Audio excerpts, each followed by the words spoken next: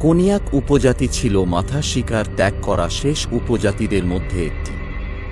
হেডহান্টিংয়ের সাথে যুক্ত বেশ কয়েকটি আচার এবং অনুষ্ঠান ছিল। যোদ্ধা হেডহান্টিংয়ের জন্য যাওয়ার আগে আচার অনুষ্ঠান হবে এবং বিজয়ী হয়ে ফিরে আসার পরে আরও অনুষ্ঠান থাকবে।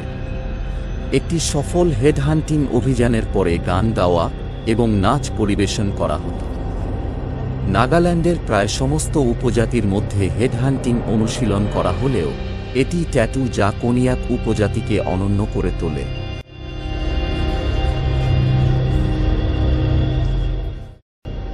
শরীরে সাজানো ট্যাটুগুলি তাদের শরীরে একটি শনাক্তকরণ চিহ্নের মতো ছিল। এই ট্যাটুগুলি একটি শিশুকে একজন প্রাপ্তবয়স্ক থেকে, একজন যোদ্ধাকে একজন সাধারণ মানুষের থেকে আলাদা করেছে। এমনকি মহিলাদের ট্যাটু ছিল। কন্যাক মহিলাদের ট্যাটুগুলি প্রধানত বাকিদের থেকে।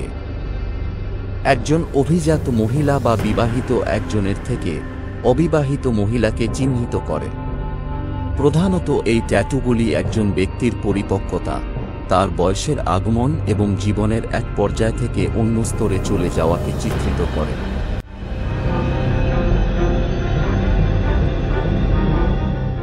একটি সাধারণ বিশ্বাস ছিল যে, যাদের ট্যাটু রয়েছে, তারা পরকালের নিরাপদ উত্তরণ নিশ্চিত করবে।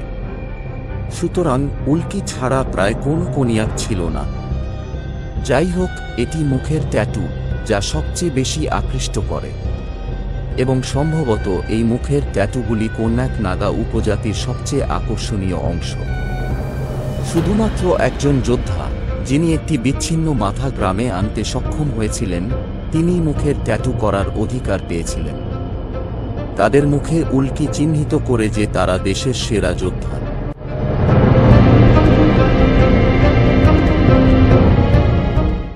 শরীরে ট্যাটু করার বেশ কিছু কারণ ছিল। ট্যাটুগুলির তাৎপর্য তাদের ডিজাইন এবং প্যাটার্নের পাশাপাশি। সেগুলি যেখানে তৈরি করা হয়েছিল তার উপর ভিত্তি করেছিল। উদাহরণস্বরূপ মুখের ট্যাটু শুধুমাত্র হেডহান্টার বা যোদ্ধাদের উপর করা হয়েছিল। যারা মাথা কাটেনি, তারা কখনই মুখের ট্যাটু পাবে না। বুকে উল্কি জীবনের বিভিন্ন পর্যায়ে চিত্রিত। মহিলাদের জন্য উল্কি তাদের শারীরিক যাত্রা চিহ্নিত করে। একটি অল্প বয়স্ক কনিয়াক মেয়ে তাদের পায়ে একটি ট্যাটু করাবে।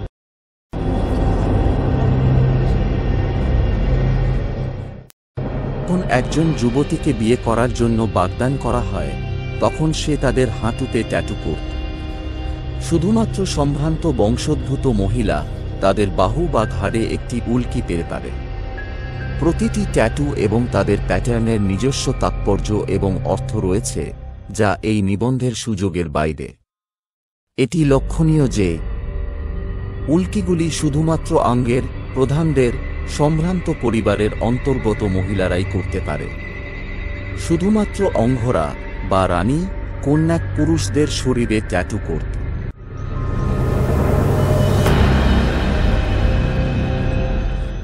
ট্যাটু তৈরির শিল্পটি মায়ের কাছ থেকে কন্যার কাছে চলে এসেছে।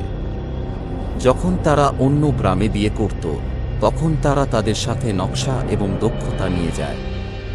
সাধারণত মহিলারা প্রথমে অন্য মেয়েদের গায়ে উল্কি আঁকতেন। তারা পুরুষদের উপর উল্কি আঁকার আগে এটা অনুশীলন মতো ছিল।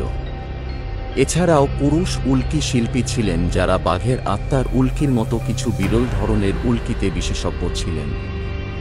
এই ট্যাটুগুলি সাধারণত সবচেয়ে শক্তিশালী অ্যাঙ্গুলির পিছনে আঁকা হতো। একটি হস্তশিল্পের চিরুনি ব্যবহার করে ট্যাটু করা হতো। এই চিরুনিগুলি উদ্ভিদের তন্তু দ্বারা একত্রে আবদ্ধ বেতের পাম্প স্পাইকগুলি থেকে তৈরি করা হয়েছিল। কোন এক ট্যাটুর দুটি কৌশল ছিল হ্যান্ড ট্যাপিং এবং হ্যান্ড হ্যামারিং। বেতের পাম স্পাইক দ্বারা তৈরি চিরুনিটি টুনা সিলিয়াটা গাছের রজন থেকে তৈরি একটি বিশেষ কালিতে ডুবানো হতো এবং তারপরে প্যাটার্নগুলি তৈরি করার জন্য অন্য কোনো সরঞ্জাম দিয়ে টেপ করা হতো বা তোকে ধারাবাহিকভাবে হাতুড়ি মারা হতো।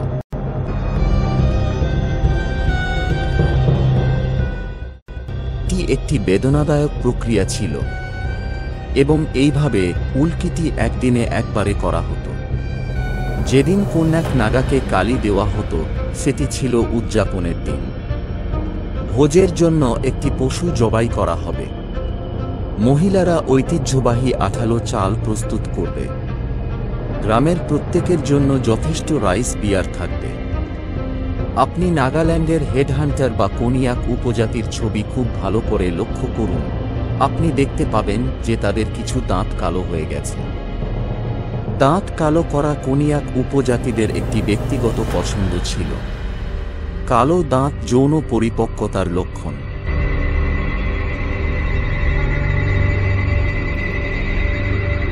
তাদের দাঁত কালো করার জন্য কন্যাকরা আগুনের উপর একটি লোহার কুঁচি গরম করে কাঁচ সংগ্রহ করত। কালো কালি তখন দাঁতে লাগানো হতো। এটি একটি আচার ছিল যা দাঁত স্থায়ী না হওয়া পর্যন্ত প্রতিদিন অনুশীলন করা হতো। এটা ঠিক যেমন আমরা প্রতিদিন দাঁত ব্রাশ করি। শিকার করা ছিল কন্যাক পুরুষদের অন্যতম প্রধান কাজ। বাড়ির প্রতিটি পুরুষ শিশুর জন্য একটি নির্দিষ্ট অস্ত্র সংরক্ষিত ছিল। কন্যাকরা শিকারের জন্য দাও, ধনুক এবং তীর, বর্ষা এবং বন্দুক ব্যবহার করত। সাধারণত যখন কোনো প্রাণী শিকার করা হতো, তখন মাথাটি অঙ্কে উপহার দেওয়া হতো। সেই হিসাবে, আপনি অঙ্ঘের বাড়ির দেয়ালে শোভিত বেশ কয়েকটি প্রাণীর মাথার কঙ্কাল দেখতে পারেন। তবে কিছু প্রাণী ছিল যেগুলি সাধারণত শিকার করা হতো না। এগুলি প্রধানত আত্মিক প্রাণী ছিল এবং তাদের শিকারকে অশুভ লক্ষণ হিসাবে বিবেচনা করা হতো। আনুষ্ঠানিকভাবে, উনিশশো পঁয়ত্রিশ সালে ব্রিটিশদের দ্বারা হেড হান্টিং অনুশীলন নিষিদ্ধ করা হয়েছিল। খ্রিস্টান মিশনারিদের আগমনের সাথে সাথে হেড হান্টিং প্রথার অবসান ঘটে।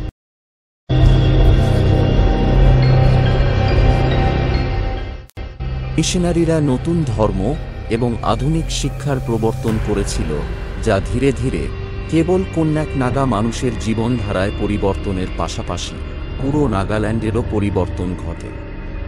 উনিশশো চল্লিশের দশকে আগত মিশনারিরা উল্কি আঁকাকে বিধর্মী অনুশীলন হিসাবে বিবেচনা করেছিলেন।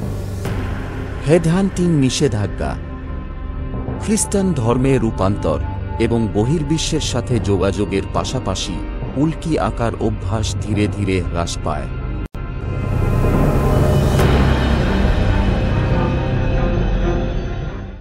অবশেষে, উনিশশো সালে কন্যাক স্টুডেন্ট ইউনিয়ন উল্কি আকার অনুশীলন বন্ধ করার জন্য আনুষ্ঠানিকভাবে একটি প্রস্তাব পাশ করে। সত্তরের দশকের শেষের দিকে এটি সম্পূর্ণ নিষিদ্ধ হয়েছিল।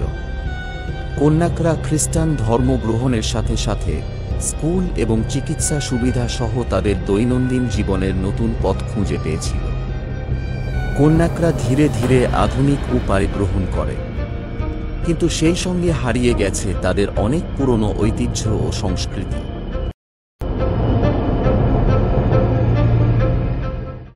হান্টিং এবং ট্যাটু আঁকার প্রথা অনেক আগেই বন্ধ হয়ে গেছে।